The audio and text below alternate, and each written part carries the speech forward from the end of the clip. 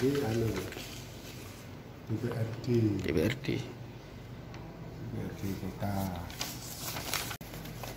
Ini untuk DPR RI.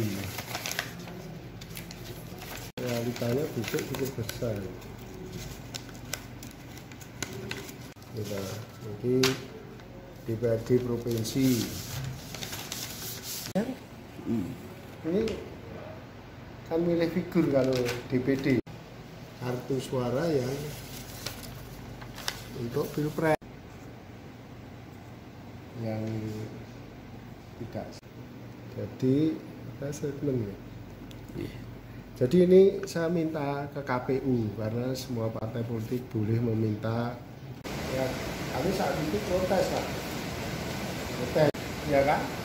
56 manan 57 maju 58 mapan. Jadi mapan itu sudah mapan ya. waktu dapat su- surat suara kok hanya dua kolom. Nah ini.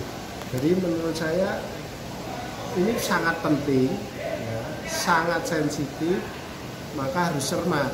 Nanti bentuknya ini vertikal begini atau horizontal? Ini berpengaruh juga nanti terhadap pemahaman pemilih.